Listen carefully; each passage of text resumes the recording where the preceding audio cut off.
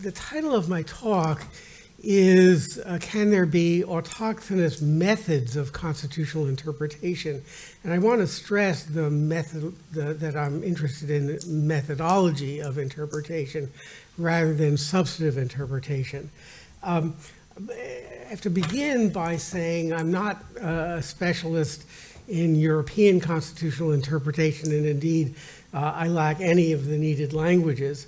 Um, so I can't say anything about what um, European populist uh, or constitutional interpretation in specifically European, specifically populist regimes uh, is. But I was struck in the announce in, in the description of the program by the geographical limitation, or at least the implicit geographical limitation, or at least the possibility that the geographical identification has some analytic significance. Um, uh, the latter point is that referring to European pop interpretation in European populist regimes suggests that constitutional interpretation in such, such regimes might be different from uh, constitutional interpretation elsewhere. And my topic is uh, how might such differences manifest themselves uh, if they exist? Um, on reading drafts of some of the papers submitted for this uh, conference, um, I, I, should note that um, there, there's some suggestions in, as I read the papers, about whether there is distinctive uh, forms of interpretation um, in European populist regimes. And if I have time, uh, I will uh, address them uh, at the conclusion of my remarks. So to begin, emphasize again, my, my concern is with uh, methods of constitutional interpretation, and those have to be distinguished, that topic has to be distinguished from, obviously, I think, substantive constitutional uh, provisions and more problematically, perhaps, interpretations of substantive provisions. Uh, now, we all know that substantive provisions vary among nations. Uh, some nations guarantee social and economic rights extensively, others don't. Some nations protect a wide range of such rights, others a smaller set. Some nations protect free expression generally, uh, others provide specific protection for artistic expression. Um, and uh, sometimes, uh, although not always, uh, the choices of substantive provisions reflect specific national experiences. So, for example, the South African Constitution has an extremely detailed provision on the procedures for pre-trial detention. Uh, and it's clear the reason for that is that uh, the prior experience in South Africa with pretrial detention generated uh, an interest in the drafters in really tying down and limiting uh, the power of governments uh, to engage in pretrial detention. Uh, and there's a more general uh, account of at least some constitutional provisions that constitutional dra drafters should focus on or at least pay attention to the specific national problems that they anticipate arising uh, after the Constitution is adopted uh, and address those problems in their constitutions. Um, uh, I'm currently working on a project that involves um, regulation of elections. Uh, and the form of election regulation will sometimes depend on whether you expect your government after it's established to be a dominant party government, a multi-party coalitional government, or know, a more or less standard small part, small number of parties uh, competitive uh, system. Uh, now, substantive revisions of the sort that I've just described are responsive to particular national concerns and are in that sense autochthonous. But I actually don't think there's much analytically interesting about the autochthony of these things. It's just, you know, they are nationally specific. Uh, what about interpretations of what seem to be identical substantive provisions? These two vary, uh, although uh, the case here is complicated by questions both of uh, translation uh, and contextual understanding. So I'm going to use an example of constitutional protection of privacy, individual privacy. We know that constitutions adopting such a provision, using exactly the same terms, whether in a common language, English in the United States and its subnational constitutions, France and France and Francophone Africa, or in translations that all agree are linguistically identical, can be interpreted uh, to reach different results in different nations. And so, again, you can have, in some sense, autochthonous interpretations of substantive provisions. Um, uh, the reason is pretty straightforward. I'll use the doctrine of proportionality uh, as my uh, vehicle, but other examples uh, could be uh, used. Um, suppose you get to the stage of proportionality analysis where you're dealing with proportionality as such. Um, again, a footnote here, the same kind of argument can be made at prior stages of, of, of the um, proportionality analysis, just a little easier to do it uh, in this setting. So under proportionality as such, a statute promoting some social goal will be unconstitutionally disproportionate if its intrusion on the constitutionally protected value, privacy, is not justified by the extent to which it advances the social goal. Okay, that's straightforward. Uh, the degree to which privacy is valued, though, varies from nation to nation. Uh, so a statute might be unconstitutionally disproportionate in a nation that places a high constitutional value on personal privacy, but constitutionally proportionate in a nation that, while recognizing a constitutional right to individual privacy, places a small, smaller weight on it, uh, enough smaller that the balance will uh, shift uh, with respect to whether the statute advances the social goal enough to uh, outweigh uh, the intrusion on privacy. Now, national, political, and social cultures will determine the weight to give, given to at least some constitutional values. Uh, and so, for that reason, there can be substantive constitutional interpretations of identical provisions. Um, uh, now, we might qualify um, that conclusion by challenging, challenging the premise that the substantive revisions are identical, although actually I think when you work through the analysis, which I, I think I'll, I'll skip here, um, uh, saying that the provisions, although they look identical, are actually different, just reduces the problem to the, or the issue to the prior one of nations having different substantive uh, provisions. Um, so uh, uh, I, the, the general uh, proposition uh, is that context matters within a single language or across translated provisions. Um, so in the United States, the Alaskan Supreme Court has interpreted its provision, its constitutional provision on searches and seizures, which is in the same English terms, terms in the English language, as the U.S. Constitution's provision is.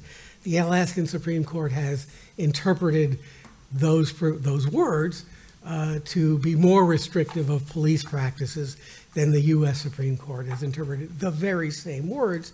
Um, and I think the explanation, uh, standard explanation, is that Alaskans see themselves as uh, the inheritors of a tradition of rugged frontier individualism.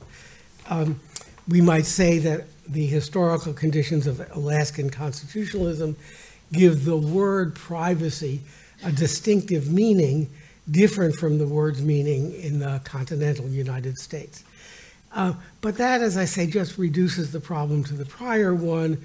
Either the substantive revisions are autochthonous privacy index to Alaska or and privacy index to the rest of the United States, or the interpretations of the provisions uh, are autochthonous.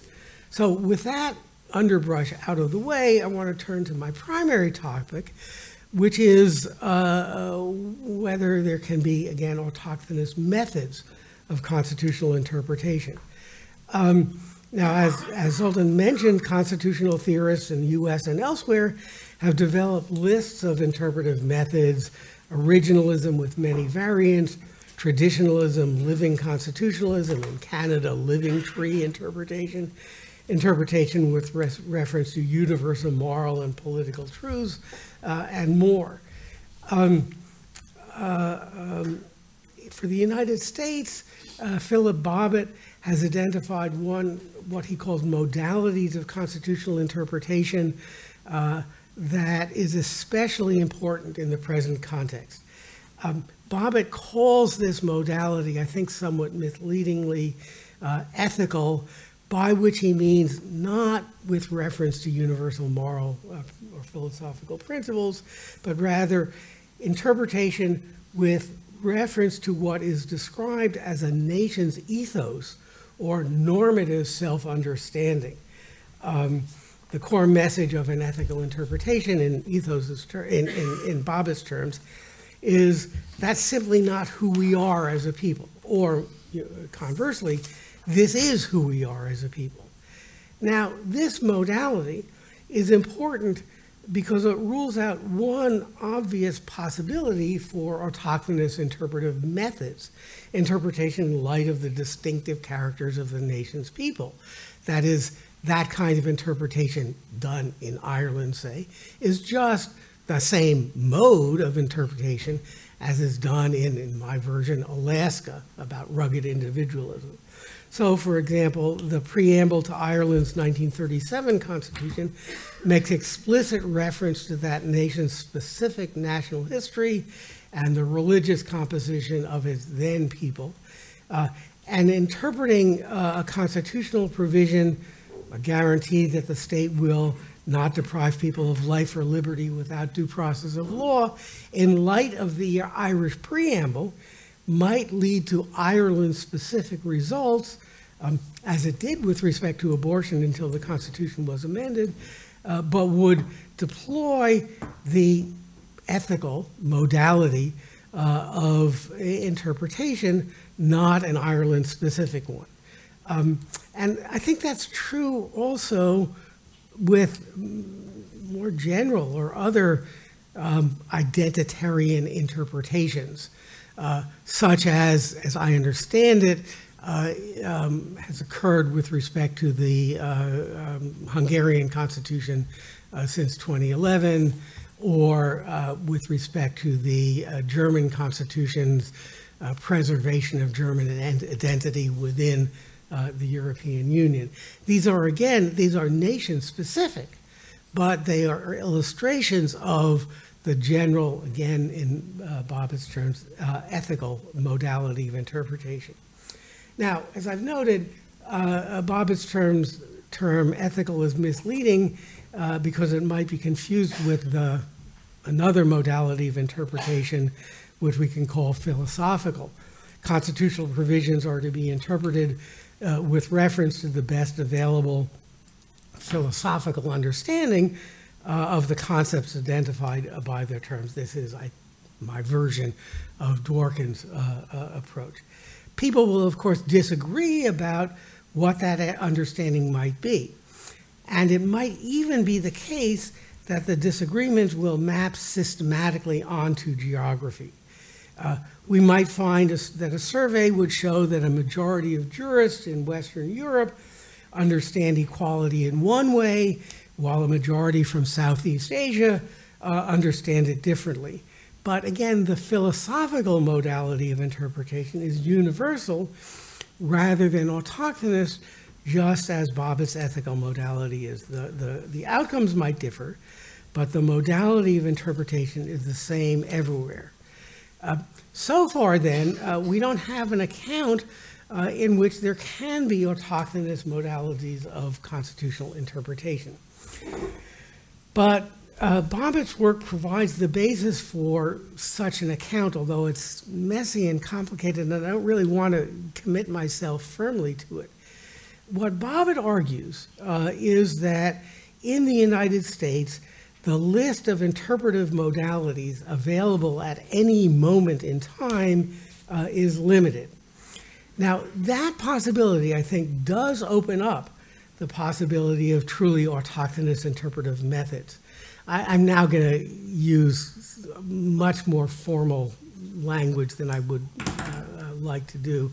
Uh, but so consider the possibility that examining all the interpretive modalities we find in the world leads us to develop a set of modalities consisting of n elements, some number of elements. If each nation uses only a subset of that set, if, for example, the US doesn't use living tree interpretation, and if each nation's subset differs from every other nation's, or perhaps if the sets fall into families as the European grouping uh, suggests, with each family different from the others, we might describe alternative interpretive methods as autochthonous.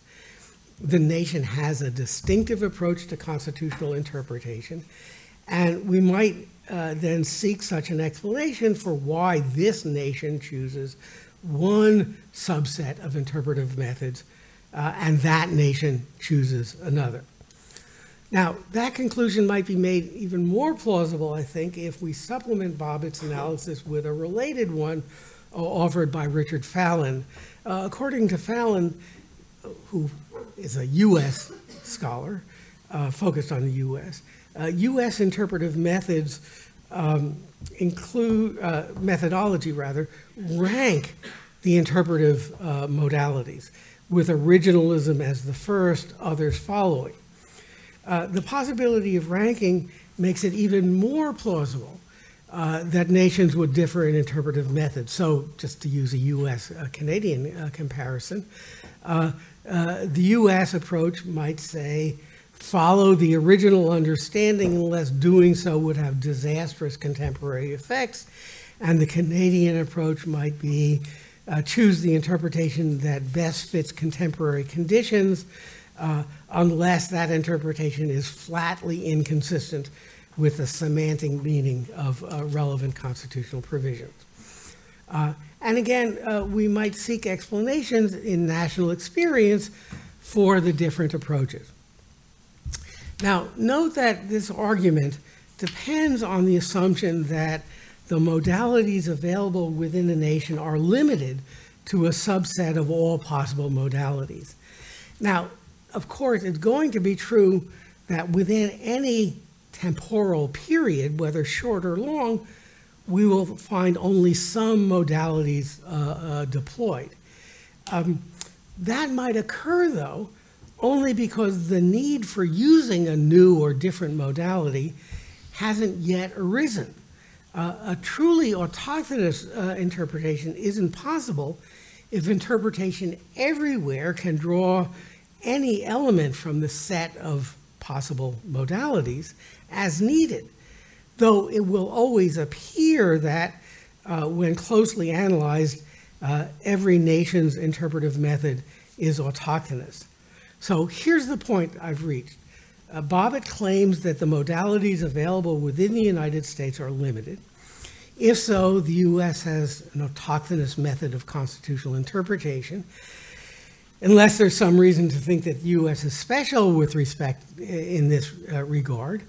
Um, uh, so uh, conceivably uh, would every other nation. Um, the question then is, are the modalities of interpretation in the U.S. and probably elsewhere actually limited? Now, imagine that a, this is actually the, the, example I'm going to give is actually based on um, some some arguments made in the early 1940s in the U.S. Imagine a U.S. lawyer uh, makes an argument that the U.S. Constitution, properly interpreted, uh, protects a defendant's right to engage in some practice mandated by her religion because, and this is the key point, a specific Bible verse uh, clearly indicates that secular authorities uh, lack the power to prohibit the practice. Other lawyers, and I think all judges, would reply that whatever its merits as an interpretation of the Bible, the argument was not a legal argument. Um, uh, you might contrast this with an argument made to an Egyptian court uh, that some constitutional interpretation was correct because it was supported by Quranic verses uh, in light of the uh, provision in Egypt's constitution that in one translation reads, the principles of Islamic Sharia are the main source of legislation, that would be a legal argument. So again, this religion-based argument today is not legal in the U.S., but would be legal uh, in, uh, in, uh, in Egypt. Theology is an available modality of interpretation in Egypt, but not, but not in the United States. Now, the reason is not that the two nations' constitutions themselves identify all the modalities of interpretation. Uh, nothing in the U.S. Constitution, or uh, I have here, this may be wrong, uh, Anna Gamper apparently is going to talk about this uh, later, uh, most other national constitutions, nothing in the U.S. Constitution, I know, uh, prescribes how the document is to be interpreted. Uh, originalism in the United States and living tree interpretation in Canada are imposed on the documents from the outside, so to speak.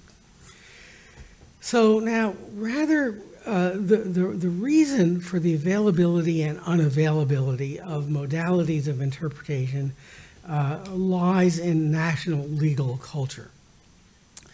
And national legal culture is the way, uh, product of the way lawyers are educated and socialized.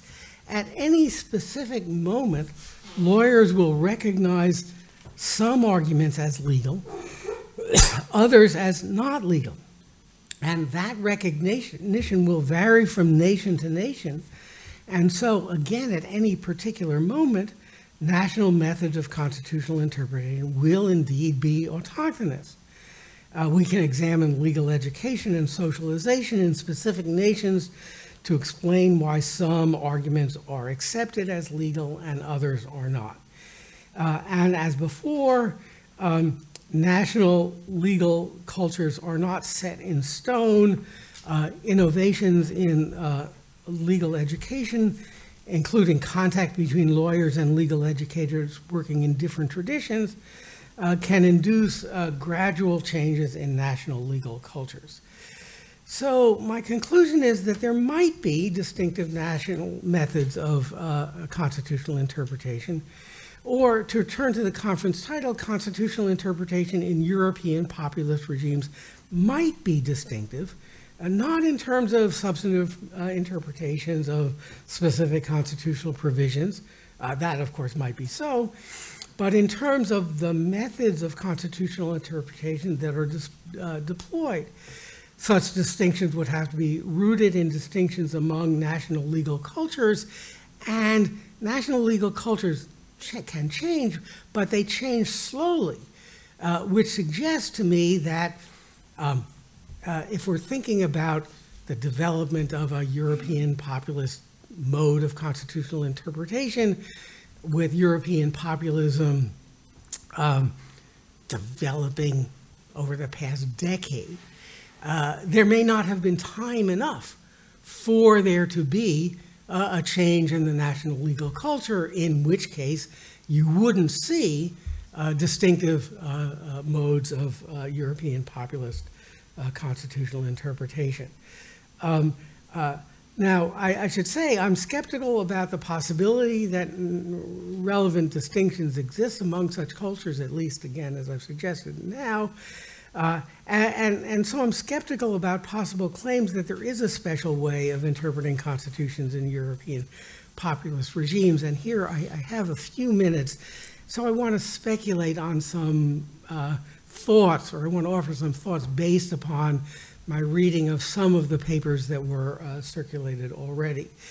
Um, my take on the ones that I read is that many of the authors uh, are arguing that the modes of interpretation in European populist regimes are in fact not distinctive. Um, they are, um, in my terms, continuous with the modes of interpretation that uh, existed prior to the development of European uh, uh, populism. Uh, now, my speculation, and this is um, notes made like this morning rather than the result of some serious uh, uh, thinking about it, is that there are issues of both legal and political significance that arise in connection with the claim of continuity. Uh, with again, I'm not a specialist in the area, so these are very speculative. With respect to political uh, uh, significance, I, I, my, I don't know, my speculation is that emphasizing the continuity of contemporary populist interpretations with prior modes of interpretation um, opens up the possibility of the reversibility of these uh, contemporary interpretations. They can be seen as uh, one, one, the authors hope, they might be seen in a decade as temporary aberrations from the ordinary course of interpretation in the nations. Uh, the legal significance is I'm even more speculative about. Um, uh, these the concern seems to be something like uh, are we observing constitutional continuity or constitutional rupture? Uh, and if it's both continuity and rupture are somehow, in my mind, related to questions about whether the populist regimes uh, represent or are the product of exercises of the constituent power of the people, or rather are ordinary exercises of, call it in this context, uh, constituted power within the framework of ordinary uh, politics. Um, I myself am not at all clear what the significance of the distinction between, uh, yes, the constituent power was exercised, and no, it wasn't, what the significance of that is, but I have a sense that there's something about that that's going on in these discussions. Okay, uh, with that, I will conclude, and, and I, I look forward to uh, conversations over the next couple of days that will uh, help me understand better uh, the kinds of ideas that I've articulated and, and, and uh, uh, will help me modify them and qualify them appropriately. Thank you.